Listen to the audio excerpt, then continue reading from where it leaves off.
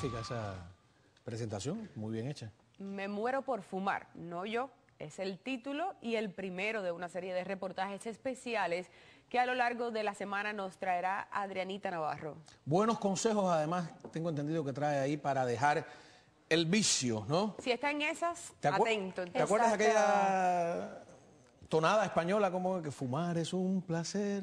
Bueno, un Todo placer. Eso cambió mucho, ¿no? Mucho y también un vicio ahora muy, pero que muy peligroso. Y hay que decir que más de 392.000 personas mueren cada año en los Estados Unidos por enfermedades relacionadas al tabaco, convirtiéndose en la causa número uno de muertes evitables. Pero ¿por qué es tan difícil abandonar este vicio?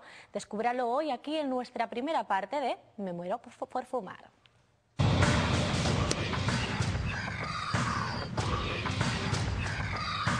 El problema es la, la- la presión, el estrés. Porque cuando me fumo un cigarrillo me siento aliviado ya. ¿no? Es un amigo que lo tenés cerca tuyo, que comparte tu vida, aunque no lo fumes, pero sabe que está ahí, está prendido, está echando humo. Se puede decir que es una forma de liberar desde adentro estrés. El primer cigarrillo puedo decir que lo he prendido en Argentina a escondidas mi madre y mi padre, por supuesto, y robarle los cigarrillos a mi madre. Empecé ya hace unos 50 años, tendría unos 14, 15 años. Los chicos mayores fumaban, entonces había que ponerse un poco de edad encima y fumar. Comencé por, por mis, mis compañeritos, mis amigos que fumaban también y yo, bueno, ese, ese hábito lo, lo adquirí y ya después no lo podía dejar. No me interesa dejar de fumar y no voy a dejar de fumar. Sé que lo voy a tener que dejar en algún momento. Sí, estoy convencido de dejarlo. Uno puede tratar con parches, ¿no? Con, eh, hay unos chicles para nicotina y pastillas, ¿eh? pero no sé, lo he tratado y no, no he podido. La nicotina es una droga muy adictiva y poderosa, no importa si fumas o mascas tabaco, ya que las tabacaleras suelen alterar el producto para hacerlo más adictivo. La nicotina llega al cerebro en 3 a 7 segundos.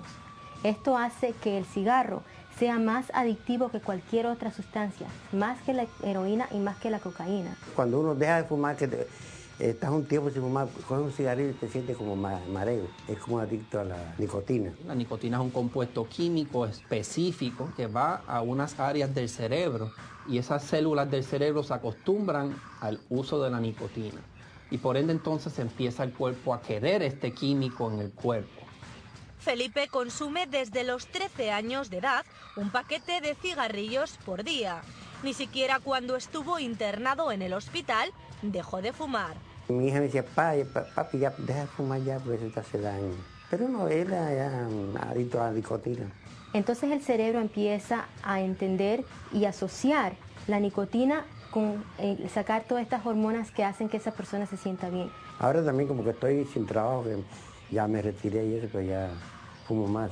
Es como una intranquilidad, que estoy en la casa que no tengo que estar haciendo algo y ya me da por fumar y tomarme una cerveza, fumar. o- Cuando la persona no fuma y no, esa nicotina no llega al cerebro, ahí empiezan esos síntomas como la ansiedad, la depresión, eh, eh, esas ansias por querer fumar.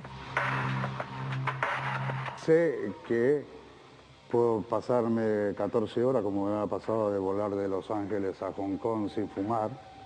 Sabía que no podía fumar y no fumé. Ahora eso sí, llegamos a Hong Kong, abrieron la puerta y éramos 400 chinos y yo corriendo todo para la salida. Uno busca siempre las alternativas, ¿no? Trata de salir del restaurante, de cualquier lugar donde esté y, no sé, puede llegar a terminar hasta arriba del techo con tal de fumar, ¿no? Porque uno hace esas cosas con ese tipo de necesidades, ¿no? El cigarrillo es muy vicioso, ¿no?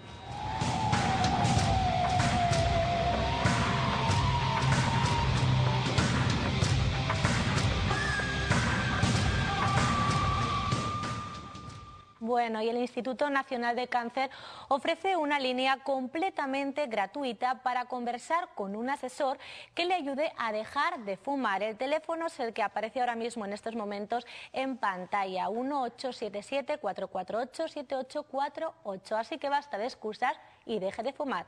Ahora seguimos con más noticias.